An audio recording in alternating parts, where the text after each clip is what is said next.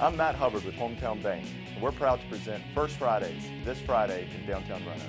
This Friday, the featured band is Superhold. Please join Hometown Bank as we support our local charities.